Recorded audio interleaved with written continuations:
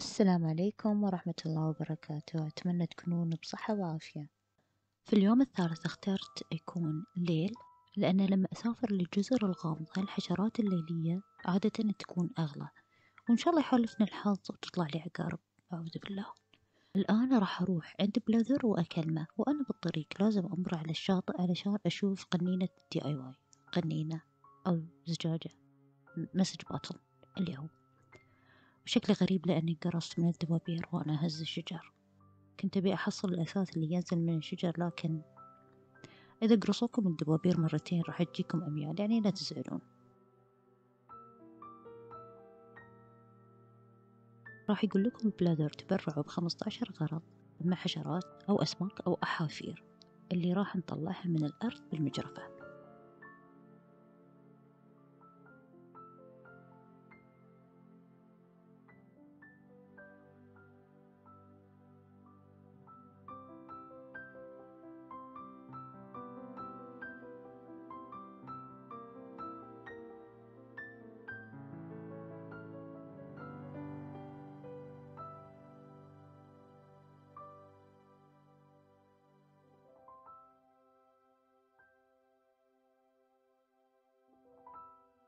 وأنا أمشي سمعت صوت الشهب فإذا شفت الشهب ارفعوا الشاشة فوق واضغطوا إيه راح تسوون أمنية أو راح تتمنون. في اليوم الثاني الصبح راح تشوفون نجوم على البحر على قد ما تسوون أمنيات.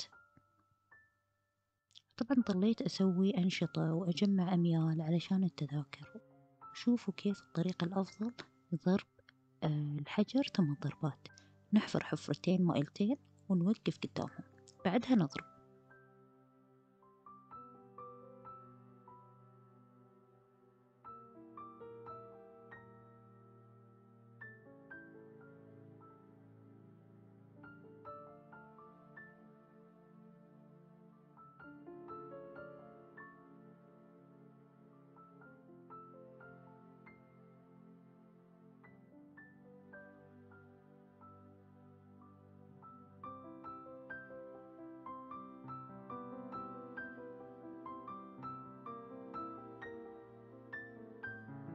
ويلبر الطيار يقول تعالي عندي إذا محتاجة أدوات وسعرها راح يكون مئة ميل. بتلاحظون في شخصية في الجزيرة وفي هذا الوقت أقدر أدعوها للعيش معاي في جزيرة كلوفر.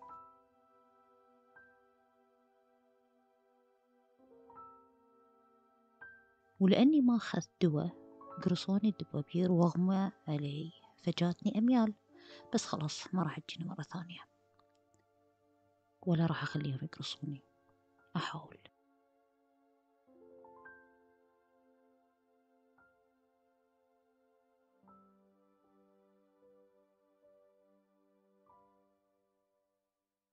جمعت الحديد ورجعت حق تمي علشان أتبرع للمحل وعطاني البنيان علشان أختار لهم مكان.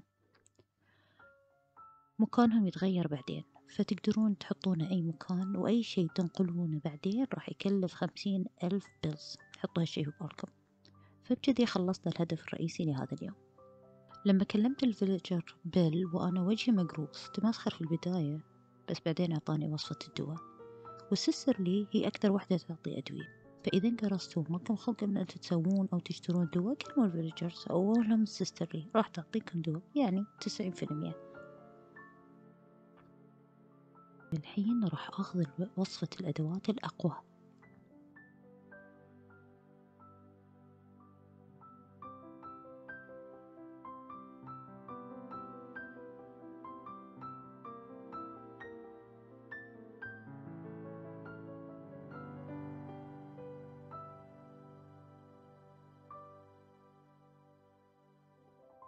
ياي أقدر الحين أسوي أدوات أقوى ما تنكسر بسرعة. كتبت جنب كل أداة بعد كم ضربة تنكسر.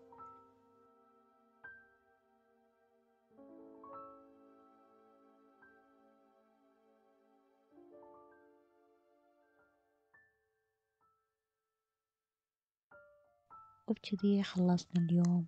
وانتظروا الفيديو الجاي ونشوفكم على خير. باي.